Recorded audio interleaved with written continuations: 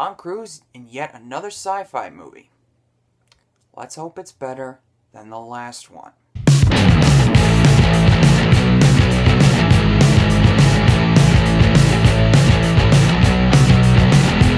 Welcome back, everybody, and today I'm here to discuss Edge of Tomorrow. Edge of Tomorrow is a movie based on a novel, I don't know the name of the novel, directed by Doug Liman, who brought us the first Bourne movie, Mr. and Mrs. Smith. It's also starring the one and only Tom Cruise, Emily Blunt, and Bill Paxton in a very small role. Tom Cruise plays a major in the U.S. military who gets into the situation where he's living every single day on repeat, kind of like Groundhog Day, matter of fact. And then he figures out how to defeat these aliens that have invaded the planet Earth in the European continent. With the help of Emily Blunt, he has to live every single day to try to figure out where the source of the alien army is and that way all can be at peace with the world. I like a good sci-fi as long as it's good and as long as it, it, and as long as it's refreshing because usually sci-fi tends to be all the same schlock. Last year we had Star Trek Into Darkness, which I really liked, but as far as something unheard of or unique in a certain way, I'm all for that. And based on the trailers though, it didn't really look like it would be that interesting. I mean, the premise was interesting enough, but I was afraid that I was going to fall into the same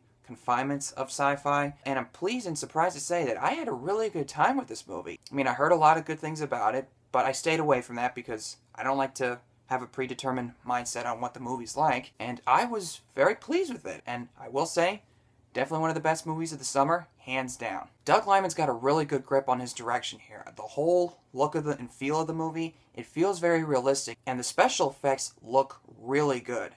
Really good. I mean, I'm sure some of it was CGI, but if it was, it looks convincing enough to me because those alien creatures or whatever they are, they're like transformers or something. And it was nice to see those different kind of aliens because, you know, it's it's it's refreshing in a lot of ways and it's not something we've seen before. And Doug Liman is very good at suspense because there are certain moments where you could tell that an alien's going to pop up from behind something and you're just kind of going like, "Oh shit. Oh boy." Good job, Mr. Liman.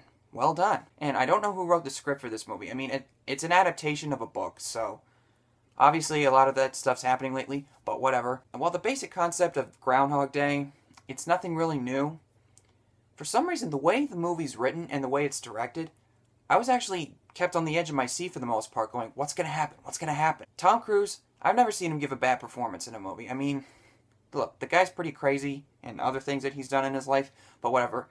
I think he's a terrific actor, and once again, He's spot on 100%. He's really funny in this movie. It's Tom Cruise. Emily Blunt, she's a standout here. She is badass.